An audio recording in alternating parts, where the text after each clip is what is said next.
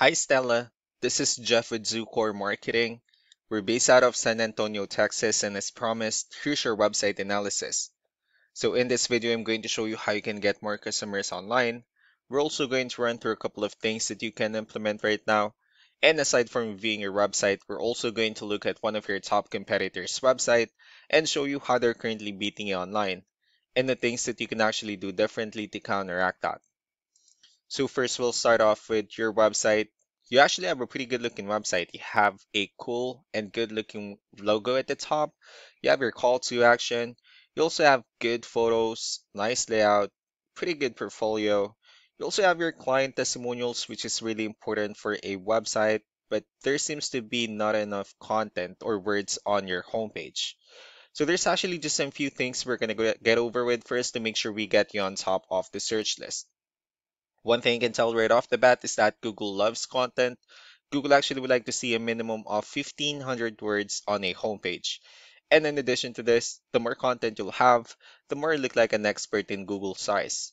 So of course, if you want to beat out the competition, you'd want to have 1500 words or more. Let's go ahead and do a quick count just for us to see how many words you have on your homepage. So currently have 623 words, which is not a bad number, However, we're still quite behind with a goal of 1500, which means if you add more words into your homepage, the better. Another thing we like to talk about are keywords. Google is also looking for keywords. It's looking for what the site should be found for. So if you have the exact words listed multiple times in your website, you're going to be really relevant for that search. And of course, Google is going to be willing to put you higher in the results. So I did a quick search and I used the keyword bathroom remodeling in Chandler, Arizona, which is a pretty good example of a strong keyword. Let's go ahead and talk more about the results that we have here. Starting off with the first one, these are what we call the map hack. And of course, this is something where you really would like to be on since these are the ones that gets a lot of attention, a lot of traffic, and are easier to find.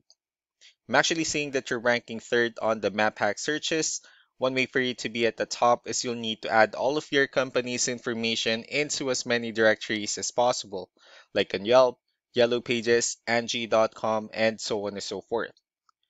Moving on to the next part, these are what we call the organic searches. These are all the website that actually ranks higher without people paying for any ads, just because they're doing some certain things. And that's exactly what we're going to talk about and analyze. So we pulled up one of the top ranking website in both the map hack and the organic. Let's see what they have differently. Well, for their website, they also have their logo at the top. They also have their call to action, pretty good photos, the services they offer, good amount of contents. Um, they also have their client testimonials.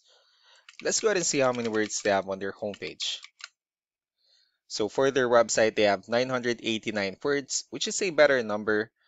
Um, so if you add more words into your homepage, the higher chances of your website being considered by Google as a much more trustworthy website. Let's go to move on with the numbers. So we have here Ahrefs, one of the paid tools that we're using for us to have some more information on the backend of your website. We'll be talking more about the numbers starting off with DR. This is the level of trust that Google has in your website and UR is the strength of your website. Backlinks, on the other hand, these are other website that refers to your website. So they're like shoutouts from different directories like Yellow Pages, Yelp, and the like. Let's go ahead and take a look at your competitors' numbers. So with DR and UR, it shows that Google actually finds their website a much more trustworthy and a stronger website. That's also because they have more backlinks.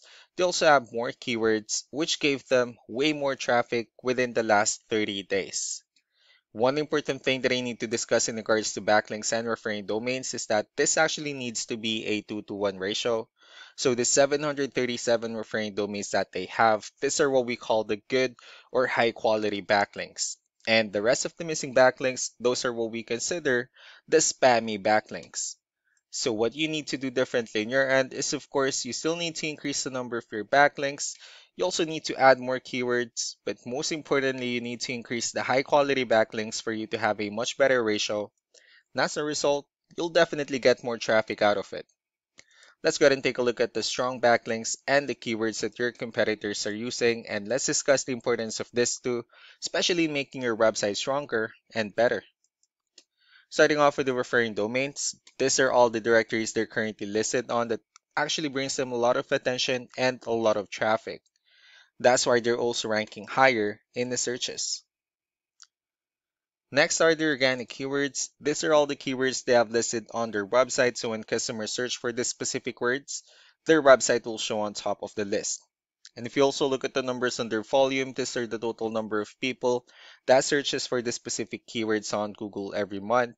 So that's how important choosing the right keyword is. That way more customers will be able to find your website quicker and easier.